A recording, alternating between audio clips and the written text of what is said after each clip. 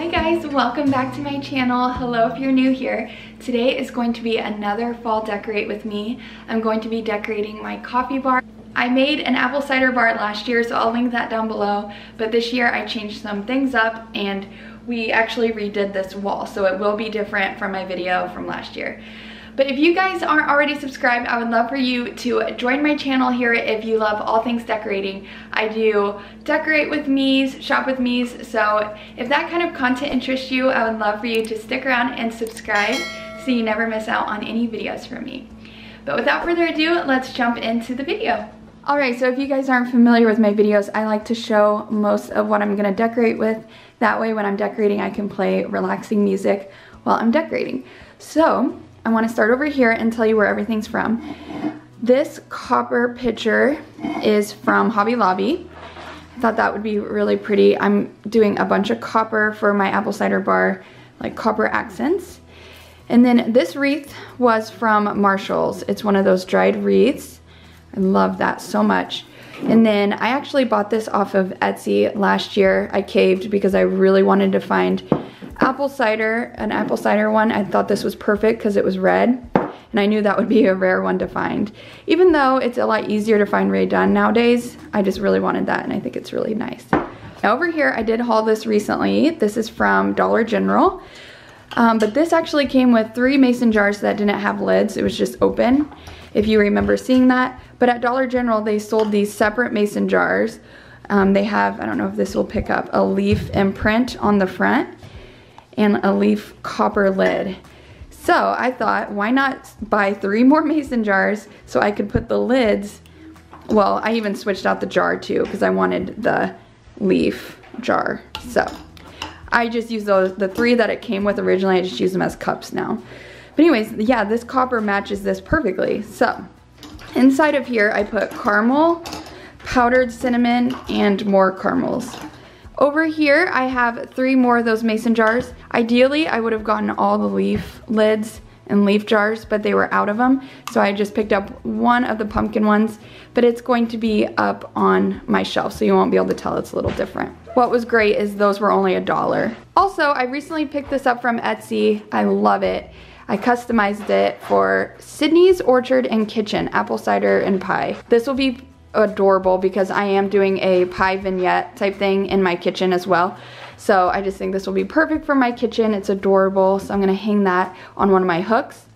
I also recently hauled this Dollar General little basket and inside I just put some real apples. Thought that was so cute for my tiered tray. It's the perfect little size. And then over here, I have this little Rae Dunn Seasons bowl and inside I have these little faux mini apples so that it'll be like apple season, you know. I thought that was cute. I'm using some plain teacups. This floral, this is from Hobby Lobby, bunny tail, and this neutral leaf. Then I have these mule mugs from Hobby Lobby. I have four of those. And then I have two of the little espresso cups to decorate with.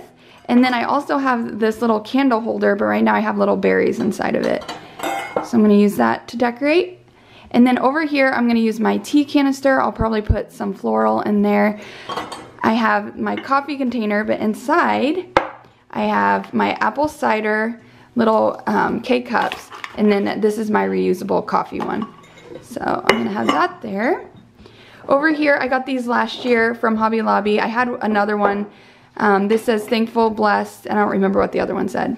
Grateful, probably. Um, my daughter broke it, so that's okay. I have um, some, what are those? Oh, dried apples and cinnamon sticks. I don't think I showed over here, I have cinnamon sticks, dried apples, and more dried apples. And then over here, I have these two baskets that come with my coffee bar shelf. It's from Hobby Lobby. And inside, I just have some real apples that we can just take out and eat. But I like to decorate with real apples.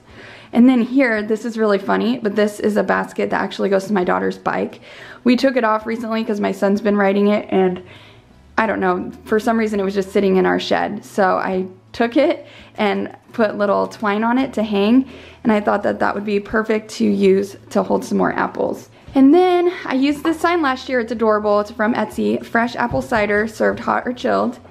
Thought that would be perfect. So I'm gonna use that again and I'll give you a quick overview again of everything. If you have any questions at all, just leave a comment down below. Oh, and I already had this hung up. This was from Etsy. I used this last year as well. I just have that hanging over some hooks. And then this year I picked this up from Amazon. If you saw my last year apple cider bar, I actually made a sign very similar to this, but I don't know where it, where it went and it was probably too big for the space.